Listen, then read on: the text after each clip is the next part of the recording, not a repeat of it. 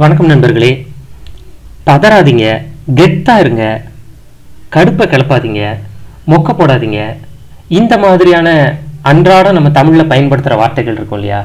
இதுக்கெல்லாம் ஆங்கிலத்தில் எப்படி சொல்கிறது அப்படிங்கிறத இந்த வீடியோவில் பார்க்க போகிறோம் அதில் முதல் வார்த்தை பதறாதீங்க பதற்றப்படாதீங்க அப்படின்னு சொல்லணும். அப்போ பதறதுக்கு இங்கிலீஷில் ஃப்ளஸ்டர் அப்படின்னு பேர். அப்போ பதறது ஹீ ஃப்ளஸ்டர்ஸ் அ லாட் அவன் ரொம்ப பதறான்.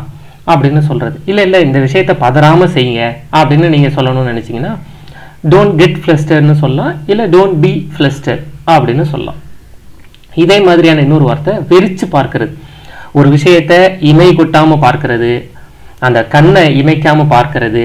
அப்போது ஏதாவது ஒரு ஆச்சரியமான சம்பவம் நடக்கும்போதோ இல்லை ஒருத்தர் ரொம்ப அழகாக ட்ரெஸ் பண்ணிட்டு வந்திருக்கிறாங்க அந்த மாதிரியான இடத்துலையோ வெறிச்சு பார்ப்போம் இல்லையா? அந்த மாதிரியான இடங்களில் ஸ்டேர் அப்படின்னு பேர். இப்போ பார்க்கறதுங்கிறது சி லுக் இதெல்லாம் உங்களுக்கு தெரியும். வெறித்து பார்ப்பது அப்படிங்கிறதுக்கு ஸ்டேர் அப்படின்னு பேர். அவன் என்ன வெறிச்சு பார்க்கறான் அப்படின்னா ஹி ஸ்டேர்ஸ் அட் மீ அப்படின்னு சொல்லலாம். நீ வெறிச்சு பார்க்காத அப்படின்னா டோன்ட் ஸ்டேர் அந்த பக்கம் பார்த்துக்கிட்டே இருக்காத. இந்த பக்கம் திரும்பு அப்படின்னு சொல்லலாம்.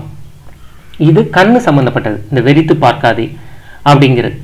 இதே போல வாயை வச்சு ஆணு பார்க்கறது. அதாவது வாயை பழந்துக்கிட்டு பார்க்காத. வாயை மூடு.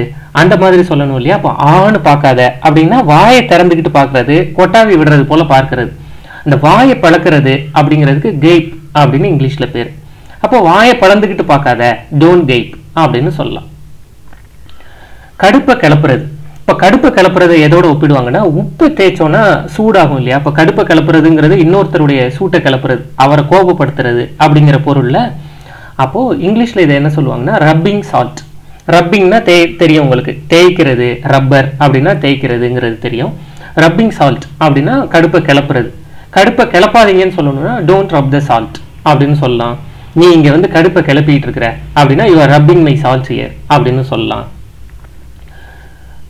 மொக்க போடுறது அதாவது ஒரு கடி ஜோக் சொல்கிறது சிரிப்பே வராத ஒரு விஷயத்தை பற்றி பேசிகிட்டு இருக்கிறது ஆனால் சிரிக்கணும்னு எதிர்பார்க்கிறது இந்த மாதிரியான இடங்கள். அதாவது இதை எப்படி சொல்லணும்னா மொனம் அழுங்குனது அப்படின்னு சொல்லணும். நீங்கள் சொல்கிற நகைச்சுவை கூர்மையாக இல்லை மொனம் அழுங்குனதுன்னு சொல்லணும். அப்போ அந்த மொனம் அழுங்குனது அப்படிங்கிறதுக்கு இங்கிலீஷில் பிளண்ட் அப்படின்னு பேர். அப்போ மொக்கைங்கிறதுக்கும் அதே வார்த்தையை சொல்லுவாங்க பிளண்ட் அப்படின்னு. Don't show your blunt ear உங்களுடைய மொனமழுங்கின நகைச்சுவைகளை இங்கே தெரியப்படுத்தாதீங்க அப்படின்னு சொல்லலாம். கெத்தாக இருக்கிறது. கெத்தாக இருக்கிறதுனா என்ன அர்த்தம்? உன்னுடைய நிலையை விட்டு கொடுத்துறாத. நீ மேலேயே இரு அப்படின்னு தானே அர்த்தம்? அப்போ மேலேயே இருங்கிறது இங்கிலீஷ்ல மேலேனா நமக்கு மேலே காற்று இருக்கு அப்படிங்கிறதுனால காற்றுலேயே இரு அப்படின்னு சொல்லுவாங்க. ஹி புட்ஸ் ஆன் ஏர்ஸ் அப்படின்னு சொல்றது. நீ வந்து காற்றுலேயே அவன் காற்றுலேயே இருக்கிறான். ஹி புட்ஸ் ஆன் ஏர்ஸ் அப்படின்னு சொல்றது. உன் நிலைமையை நீ விட்டு கொடுத்துறாத. கெத்தா அங்க வந்து இருந்துக்கோ அப்படின்னு சொல்லணும்னா don't lose yourself put on airs அப்படியே கெத்தாவே இருப்பா அப்படின்னு சொல்றது.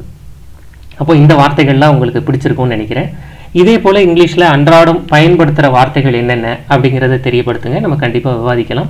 இந்த வீடியோவை பார்த்ததுக்கு மிக்க நன்றி. வணக்கம்.